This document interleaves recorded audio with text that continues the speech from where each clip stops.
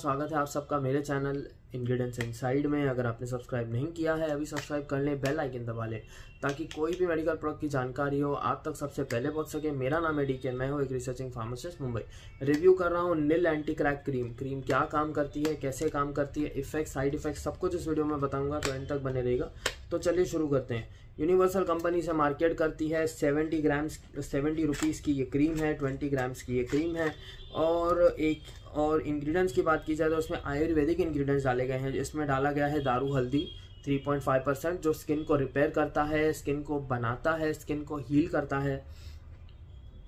उसके बाद इन्होंने डाला है जीवन टी। जीवन टी भी स्किन को नरिश करता है हाइड्रेट करता है सॉफ्ट करता है। मंजिस्टा डाला गया है, जो स्किन को नरिश और हाइड्रेट करता है। पाषाण भेद डाला गया है, जो एंटी बैक्टीरियल है, कीटाणुओं को मारने का काम करता है।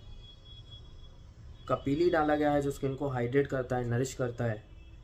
और कोकम बटर डाला गया है जो स्किन को सॉफ्ट और स्मूथ बनाता है। तो ऑल इन ऑल अगर डॉक्टर ने प्रिस्क्राइब किया है, आप खुद भी यूज़ करना चाहते हैं फटी एड़ियों के लिए नीला एंटी क्रैक क्रीम रात को सोते समय लगाइए, आपको श्योरली बहुत ही अच्छे रिज़ल्ट देगी।